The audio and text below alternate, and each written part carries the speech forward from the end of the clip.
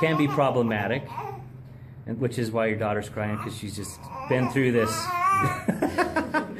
um, just kind of wanted to get a, a rundown as far as um, when when you had questions, whether it was phone calls, emails, texts. How did I respond to you in a timely manner?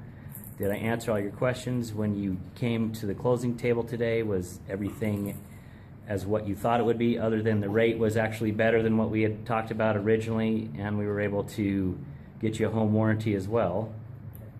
How did did I meet your expectations? Oh, I guess. yeah, way above and beyond what, what I was expecting. As Okay. We were talking earlier.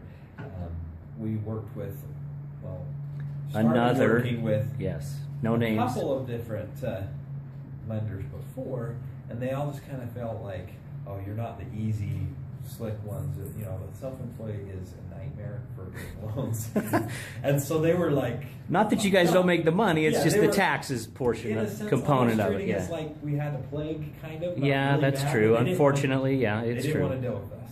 Yeah. Um, so you've been fantastic with that. The regarding the getting back to the messages, very quick on everything.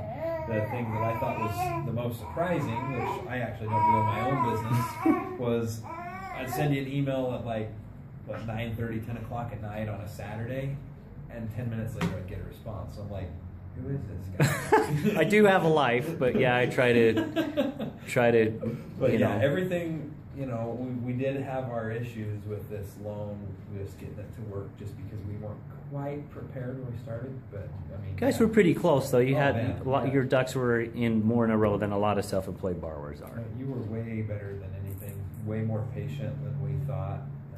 So yeah, we've been working on this project for several months because we didn't have some of the paperwork done quite right, so. The underwriter way. Yeah, exactly, yeah.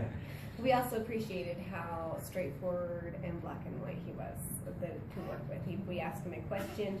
It was this is how it is. There was no there's no confusing. He just he just spelled it out for us in a way that we could understand, and we appreciated that. Not a problem. Thank you. I Appreciate your guys' business. And one last question: If you knew of anyone in the future that needed my services for a purchase or a refinance, would you recommend them? Definitely. Okay. All right. Thanks again, you guys.